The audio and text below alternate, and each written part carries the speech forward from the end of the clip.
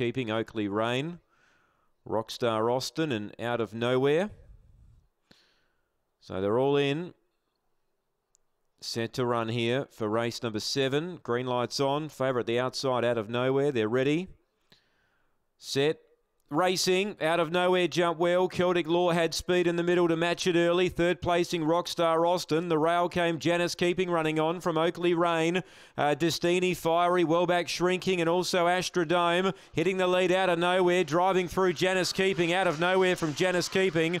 Oakley Rain third, Rockstar Austin four. Uh, Astrodome and Celtic Law in behind that group. Destini Fiery and shrinking the last one in. Time around 17.30. So eight will get there out of nowhere. Will win from two Janice Keeping and four Oakley Rain. That's the way they'll be. Eight, two, four. And fourth will be a photo. Six will get it. Rockstar Austin. So eight, two, four, and six. Take note.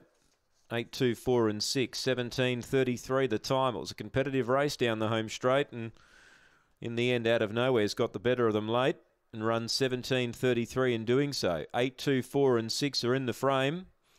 Standing by for the margins here after race number 7. They shouldn't be too far away.